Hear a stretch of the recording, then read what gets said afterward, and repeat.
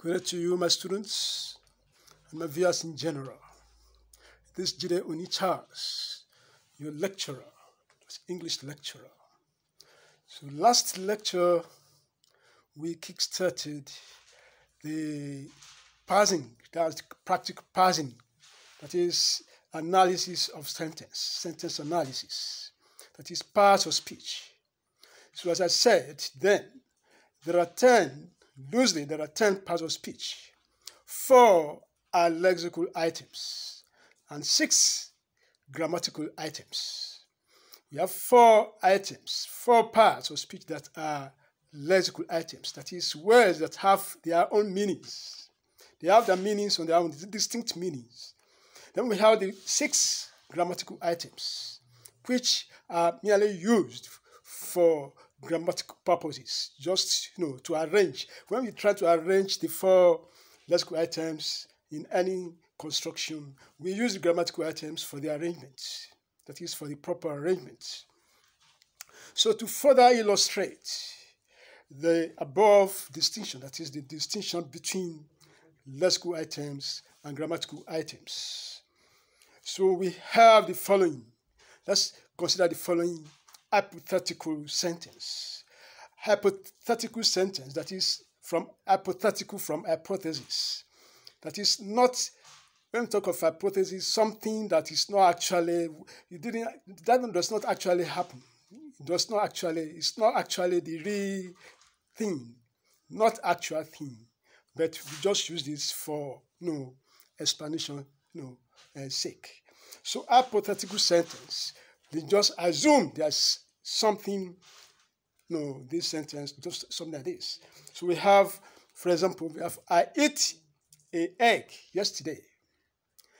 I ate a egg yesterday. That construction is ungrammatical. It's an ungrammatical construction. I ate a egg yesterday. Yesterday is past. It's a past tense. So that sentence is a past tense. When we use yesterday, is it's already past. So we can't use it. It is present verb. So we have to use the past. That's it. So I ate yesterday is ungrammatical. When we talk of egg, egg starts with a vowel sound. A. So when a word starts with a vowel sound, we use an for the article. The article an, that's indefinite article, must be used, not no the indefinite article a. A is used when a word starts with a consonant sound. So I eat a egg is ungrammatical. That is, you don't use it for past action. I eat a, egg yesterday. I eat a egg yesterday. No, that's past tense. So you don't use it. You use et. It is et. I ate. Then a egg, you don't say a egg. It should be an egg. So that construction is ungrammatical. But the meaning is clear. The meaning is very obvious.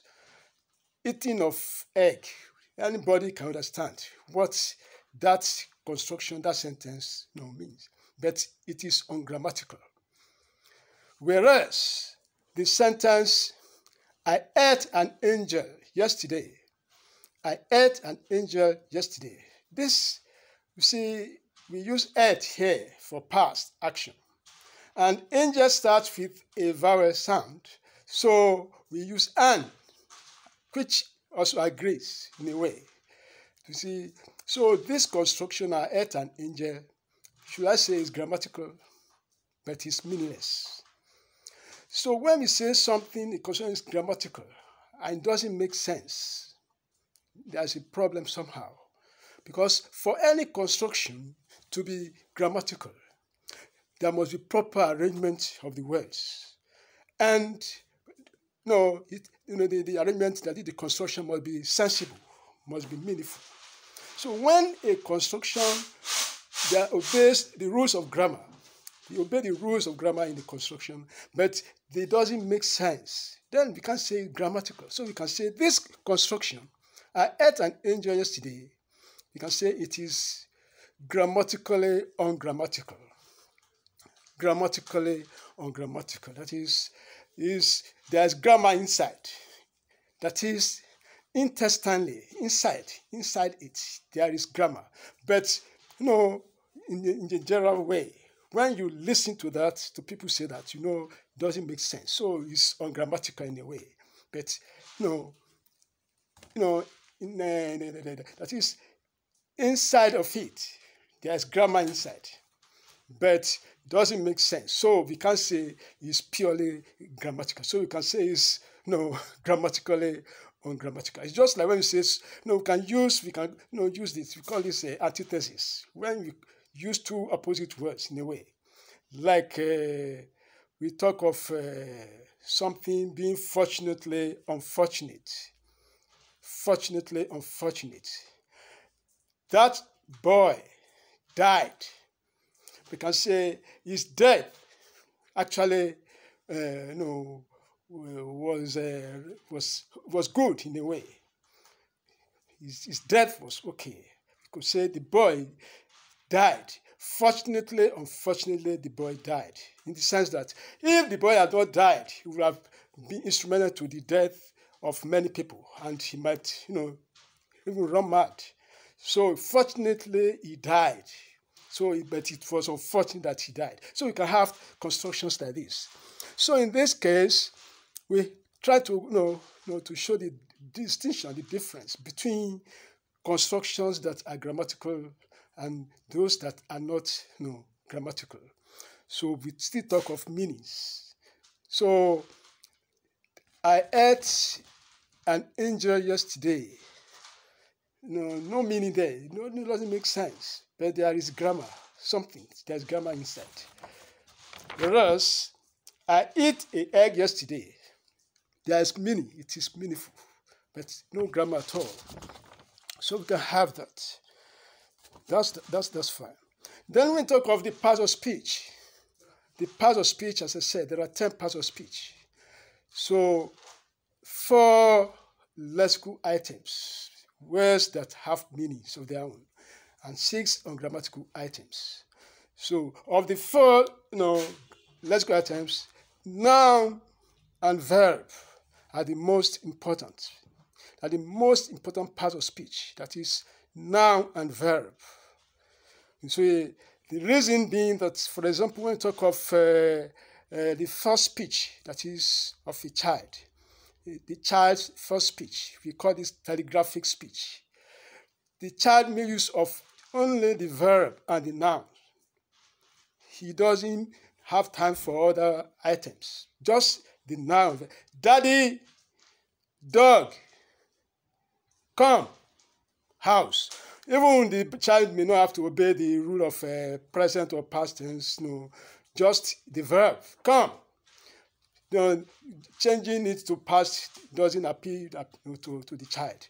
What matters is for the child to communicate, his communication, to get you know, his thought across. So it's just the verb and the noun uses. Daddy, dog, come, eat, food. These are telegraphic, you know, from, from you know, words. That is words we use when, when we used to send telegrams in those days. We made use of verbs and nouns. So we have verbs and nouns are the most important, you know, parts of speech. So we have this. Then, so any part of speech is a simple, single item. Let us be careful of this. When we talk of part of speech, no two words can form a part of speech. A part of speech must be only one word, a single item, or that simple, single, simple no, item or compound. A word that is only one word a word that is one, a single word is a, is a single simple word. It's, it's, it's a part of speech. Any word at all, one is only one, it's a part of speech. But when we have two words coming together with having, when we have two words or two or three words affinited with having, they have formed only one word. That's a compound word. It's still a part of speech. When two words come together, you know, with having joined together as one, is still a part of speech. But when we have more than one word separated, this time we are talking of phrase, a phrase or clause. or sentence. A phrase or a clause or a sentence. Now, later I'm going to explain to you the difference between clause and sentence because there, there are some subtle you know, differences. So, phrase, you know this later, clause, then sentence. The pivot or central point of reference in any sentence or statement is the noun. Noun, when we talk, I talk of uh, verb and noun, that's the most important. Noun is still more important than verb. So noun is the most important. A noun can stand alone on its own and still you know, we know what is happening. You can't say anything, there's no you can express anything without a noun being involved. Noun is the point of reference. When you mention adjective, it must still describe, qualify a noun. If it's a verb, it must be the action or something else of a noun. So there's no way we can say anything, communicate, you know, without a noun being present.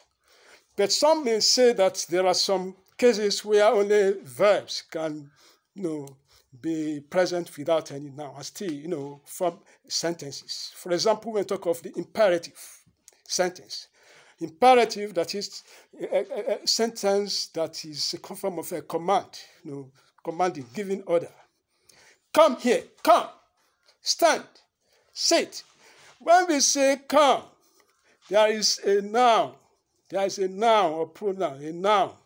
you No, underlyingly. There is, when I say come, anything that is imperative, you are addressing the second person. Come, do it. Stand, right. There is you underlyingly. You must be present, but it may not you know, be visible. It is underlyingly present. Come means you come. Go, you go. So a noun must be present. I don't forget when I say noun, you is not a noun, it's a pronoun. Whatever, when we use pronoun, we are, pronoun stands for noun. So anytime we talk of pronoun, we are talking of a noun. But we are not just repeating, we are not mentioning the name or the noun itself, but something is standing for the noun. So noun is the most important you know, part of speech. The most important, there's no other part of speech you mention you, you know, that appears in construction without referring to a noun. It more, all part of speech revolve around the noun. This is a fact. It's a fact. So the pivot, that is the central point or reference, or in any sentence or statement, is the noun. So all that part of speech revolve around it. We, we may define a noun as anything at all. See, in most you know, you know, institutions, even secondary and tertiary institutions, you know, teachers tend to teach students, you know, to define nouns. You don't ask a student to, what is a noun? People, you know, there is that conventional definition. A noun is the name of a place or person. It's rubbish. You don't say that. It's, what you have to teach the students is to be able to identify a noun. When they see a noun, they should know this is a noun. Not defining a noun the name of a person. No, that's not it. That should be a way you let the students know what a noun is. In any particular passage, they should be able to identify a noun and also know the function of that noun in that particular context. So, in my own characteristic you know, manner of teaching, a noun must be anything, anything, real or unreal. A noun must be anything real or unreal, actual or imagined, an idea or a concept, an idea or a concept, animate or inanimate, concrete or abstract. In this world or in the world beyond, in a waking state or in a dream state, just anything at all, anything at all that you can think of And so a verb, so even now is just that. All other part of speech now, when we start talking about this, you see that they revolve around the noun. For example, we see a verb is that part of speech that expresses. See, there's another problem with our teachers.